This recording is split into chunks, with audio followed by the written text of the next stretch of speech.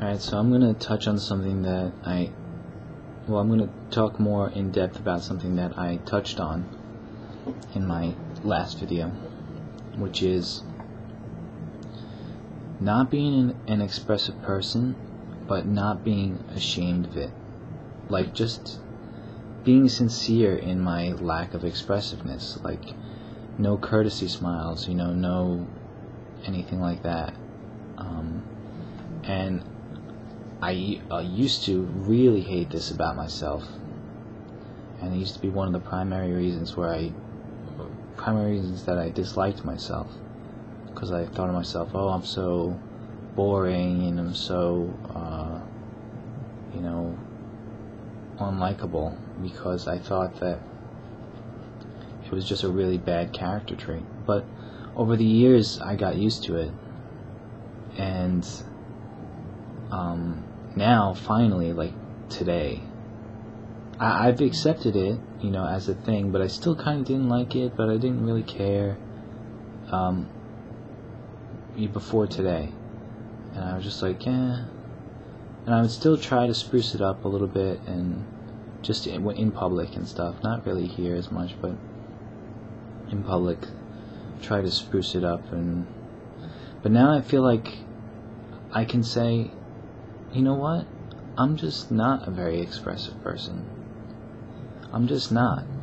I don't feel like smiling when uh, when most people do. you know, most people feel like smiling. I don't, and the reason why is because I'm not amused by what people are saying.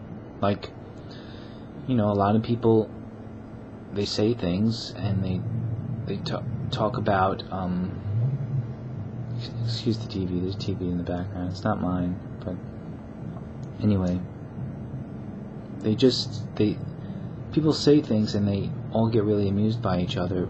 Like if somebody says, "Wow, I had the best burger today at uh, this at X Burgers," and I just made that up, X Burgers, and so they're people just love hearing about other people having sense pleasures of all kinds. You know, I just listened to this great song or, or whatever. Or it seems that way to me. When I just really don't care. I just don't care. You know, and so I don't have to act like I care. And I don't have to I don't have to get down on myself for not caring. And I don't have to get down on myself for not acting like I care. You know, it's just, it's just sincerity is the most important thing, and and one obstacle to sincerity is shame. And I was ashamed to, to to not care, and I wanted to fit in, and uh, you know a few other things. And I'm not saying that I'm going to be a, a dick. you know, I'm not saying that I'm going to be like, I don't care. You know, I do I do that sometimes with with people with the close people to me get that sometimes. But um I'm just not going to put on a show. And now finally this like today finally the shame has just gone away and I just I don't feel the need. I don't feel the need. And it's great. It's great. Because I feel like I'm fully accepting myself now for like the fullness of who I am. You know. You know, I'm not very expressive. I'm not very happy typically. I'm not very, you know, uh, outgoing.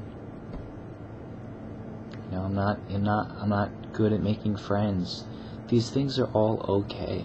They're all it's all okay. And I don't have to say I don't have to add to that and be like and that means I suck. I don't have to do that. I don't suck. I'm confident that I don't suck. I actually really like myself.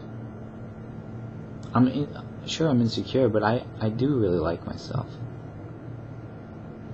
You know?